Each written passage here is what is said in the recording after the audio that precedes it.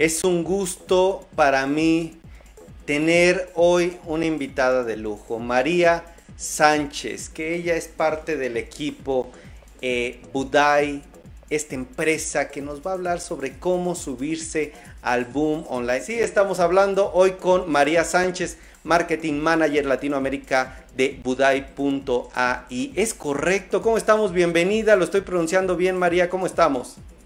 Buenas tardes, ¿cómo estás Miguel? Mucho gusto estar aquí con ustedes. Muchas gracias por, estamos muy complacidos por estar en tu programa.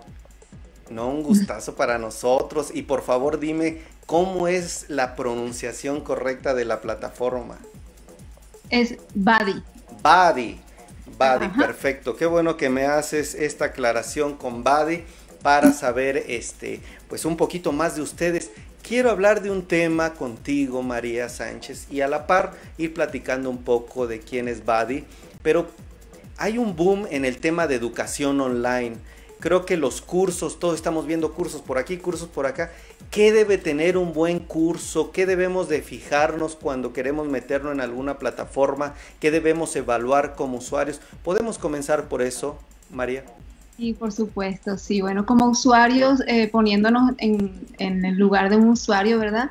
Debemos identificar em, el contenido de, por ejemplo, si es un curso, em, en qué se basa y si eso eh, va, va, en línea con nuestros objetivos, ¿no? De lo que queramos aprender o desarrollar. También si cuentan, también podemos evaluar si cuentan con apoyo o soporte, porque muchas veces, a veces nos metemos en, en ciertos em, con ciertas herramientas tecnológicas que de pronto podemos tener ciertos desafíos y no, tenemos ayuda. Entonces me parece que esos dos puntos son muy importantes eh, para considerar como usuarios. Muy bien. Ahora, ¿en qué se basa esta tendencia, María, de los cursos online? ¿Es justo por la pandemia? ¿Ya venía esta tendencia? ¿Son todo tipo de cursos? Entiendo que ustedes se especializan en el tema del idioma. ¿Cómo están las tendencias? Sí, bueno, las tendencias la, existía por siempre que ha habido, eh, los últimos 10 años ha habido una tendencia en mejorar la experiencia de los estudiantes y mejorar y, y, liberar un poco la carga de los profesores para que ellos se puedan concentrar en la parte más densa y de más, y de más alto nivel y calidad, ¿no? Del aprendizaje. Luego ahora se refuerza con este movimiento y todo esto, este periodo que estamos viviendo y que, y que ahora, bueno, vemos que la educación en casa y la educación online o en línea ha tenido, tiene pues mucho, mucho auge ahora por la situación en la que nos encontramos. Entonces, bueno, se han unido estos dos, estos dos factores y ahora hay un boom y a todo nivel educativo y tecnológico, todo lo que sean herramientas online es lo que, lo que nos está ayudando ahora más que todo, ¿no? A nivel de, de usuarios, a nivel de empresas, etcétera. Muy bien ahora sí platícame un poco de su plataforma, qué han descubierto, qué es lo que hacen ustedes y qué han encontrado, qué beta han encontrado del interés de los usuarios. Sí, bueno, muy interesante. Nosotros nos hemos concentrado en recibir retroalimentación y opinión de los usuarios, ¿no? Primero, antes de nosotros como, como empresa o como, como startup, establecer funciones nuevas, ¿no? De, la misma aplicación. Entonces hemos aprendido muchísimo, de hecho, de nuestros usuarios los niños cuando interactúan con Buddy, que es el, el, robotcito, ¿verdad? O el personaje animado, ellos desarrollan una, un vínculo emocional, lo cual el, permite que, el, que el, programa educativo sea mucho más efectivo. Y también, bueno, hay niños que empiezan a hablar inglés y desarrollan un contenido, un, perdón, un, interés propio um, de, de, aprender más inglés y de practicar el idioma que antes no lo tenían, por más que en el colegio se lo enseñaban o los padres trataban, no había como ese interés porque ellos lo ven como, como que están estudiando, pero en, cambio con nuestra aplicación ellos están al, mismo tiempo divirtiéndose, entretenidamente aprendiendo, entonces este, hemos aprendido mucho de esta experiencia y cada vez vamos, vamos reforzando la aplicación para que el niño tenga la mejor experiencia posible, basada en sus necesidades, ¿no? Y su, la manera que aprenden los niños. Muy bien, permíteme saludar a las personas que nos están eh, comentando. Muchas gracias. Veo a Daniela Benoit, veo a María de los Ángeles, a Jaime, Yasmín Padrón, perdón, Gracias por los saludos. Pau Atenco, ¿cómo estamos? Lauro González, Rosy Cabrera, gracias por estar aquí. Edgar Carvajal, mi querido Edgar, un fuerte abrazo. También Chío Álvarez, Rosy Cabrera que nos dice gusto de vernos. Mi amigo Diego LS, qué bueno que nos ven. Bueno, gracias a quienes están en LinkedIn, Facebook, YouTube y Twitter. Gracias por estar comentando. Un fuerte abrazo. Y siguiente pregunta, María, es... ¿Qué oportunidades abre el estudiar en el inglés? No solo para niños, adultos, tendrán cifras, datos de cómo te posiciona en el empleo y cómo es a nivel internacional también esta percepción. Y bueno, ahora como vivimos en un mundo tan globalizado, ¿verdad? Y, que tenemos ahora la oportunidad de ser contratados para trabajar eh, de manera remota, todas las puertas se han abierto y las posibilidades son, bueno, casi infinitas, ¿correcto? Entonces, eh, al hablar el, inglés o, al entenderlo, al empezarlo a practicar desde edad muy temprana, se nos hace mucho más fácil darnos con el idioma a nivel ya de adultos, ¿no? Y a nivel comunicativo, y eso, eh, el, inglés es, un lenguaje universal que es como básico para todos a nivel comercial, a nivel de todo tipo, ¿no? Entonces, bueno, es, es, este, nos abre la puerta, digamos, de, de que el límite lo pones tú. Luego que aprendes el idioma y te interesas y vas creciendo y desarrollándote en cuanto a pronunciación, a conocimiento, eso el límite ya lo pone uno mismo, o sea, el límite no existe ya porque ya tienes todas las, las, posibilidades, ¿no? Dependiendo de cuáles sean tus metas o en el campo en el que te quieras desarrollar.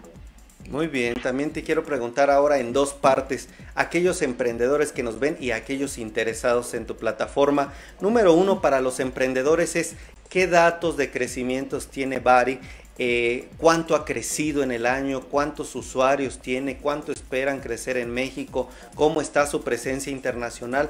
Eso para que los emprendedores pudiéramos ver qué oportunidades hay para otras empresas en el mismo sector y por otra parte, aquellos que están interesados, ¿qué le dirías a aquellos que quieren adquirir algún curso, algún taller? ¿Qué oferta tienen y sobre todo qué precios? Ok, muy bien. Bueno, comenzamos con la primera parte. Pues, eh, bueno, cuando nosotros uh, hacemos el, lanzamiento oficial en julio en México, ¿verdad? Enseguida obtuvimos muy buena respuesta, más de lo esperado. Entonces, para el tercer trimestre de este año ya habíamos doblado el número de usuarios, que fue, que fue considerable porque estábamos apenas comenzando y introduciéndonos en el mercado, dándonos a conocer un poco. Y, esto ha sido impresionante. El, ahora tenemos em, más de, casi 4 millones y medio de, downloads o de descargas en, en, la Apple Store y en el Google Play y nos ha, eh, nos ha ido muy bien, eh, tanto así que hemos recibido dos premios internacionales, el South Summit que se desarrollan en España y también el Enlighted que es un, premio eh, a nivel en Europa y bueno, esto ha sido solo el segundo trimestre ya después del lanzamiento de la, de la aplicación en Latinoamérica, lo cual nos ha llenado de mucha emoción y también y, y, también responsabilidad para poder mejorar cada día, ¿no? Por supuesto y ofrecer lo mejor a nuestros usuarios. Y mm, la segunda, la otra pregunta me la, los interesados. Para ah, aquellos interesados. Sí, para aquellos eh, eh, interesados, este, eh, tenemos tres tipos de membresías por los momentos. Una que es semanal a 129 pesos, luego viene la anual que son 629 y la ilimitada que son 1099 pesos.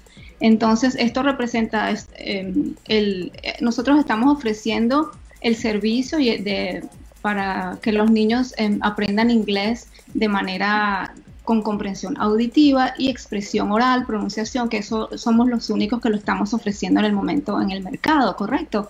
Entonces, esto es, em, viéndolo bien, es, eh, los, estos precios representan un 2% del costo de un tutor presencial, entonces está muy, estamos facilitando el aprendizaje de inglés a nivel mundial. Y tenemos ahora em, usuarios en Chile, en México y, y esperamos crecer en Latinoamérica y bueno, tenemos en Europa también, en Turquía, Rusia y otros países. ¿Cuál sería su principal valor agregado frente a otro, frente a la competencia, frente a las opciones de maestros, de escuelas que bueno, ahora todo con la pandemia se ha vuelto online, pero ustedes en qué destacarían y qué, por qué le dirías a los usuarios que podrían irse con ustedes? Bueno, en primer lugar, eh, porque la práctica, la comprensión auditiva y la expresión oral del idioma, del vocabulario, la estamos ofreciendo a través de, un, sistema de, aprendizaje que ha sido diseñado por doctores y, y maestros en con maestrías en psicología, del aprendizaje, con mucha experiencia en práctica, enseñando a niños nuevos idiomas, ¿verdad? Entonces esto es algo que, en lo, con lo cual los padres pueden estar tranquilos porque sus hijos están aprendiendo ah, mediante un método que ha sido diseñado, están en buenas manos, digamos, ¿no? El otro punto es lo que acabo de mencionar, que es un 2% del costo de lo que te cuesta un, tutor que venga a tu casa o un tutor presencial o, o incluso un tutor, un tutor online.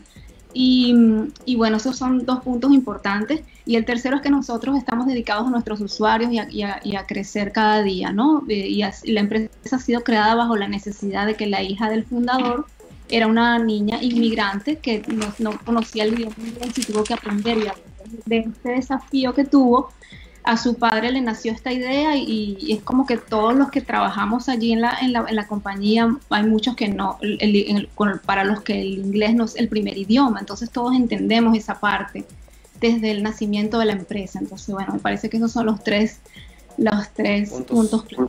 Muy bien. Pues eh, nos queda un minutito, dos minutitos eh, y quiero terminar con esto, mi estimada María Sánchez, directiva de Bari. Número uno, bueno, sí conviene en este momento para quienes nos ven, pues ofrecer talleres, cursos, eh, meterse en todo este tema online. Por lo que tú nos dices, una empresa como ustedes lo han corroborado, pero también hay que hacerlo bien. Regálame nada más, por favor, un poco reiterando la primera pregunta. Tres puntos que los emprendedores, empresarios que quieran meterse en los talleres online tienen que cuidar.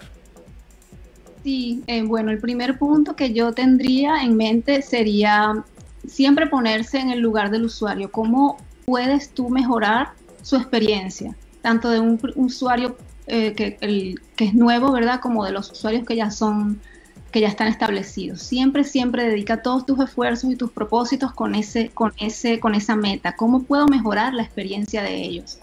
Como de, de, afuera hacia adentro, no, no desde el interés tuyo de que ah, voy, porque uno muchas veces piensa que una función que puede em, introducir o, ser nueva en la aplicación va, va a, ser, a servir, va a ser muy útil para todos, pero resulta que al, al final no es eso la necesidad principal de este usuario, entonces tienes que conocer mucho, mucho a tus usuarios y, dedicarte a ellos en todo momento.